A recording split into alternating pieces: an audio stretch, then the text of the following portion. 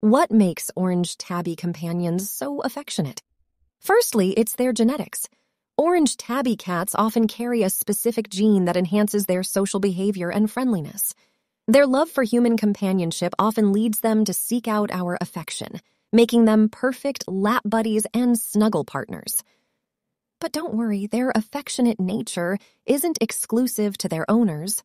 Orange tabbies have been known to greet strangers with open hearts and friendly purrs. Whether it's their gentle purring or their playful nature, Orange tabby cats have a way of winning over hearts wherever they go.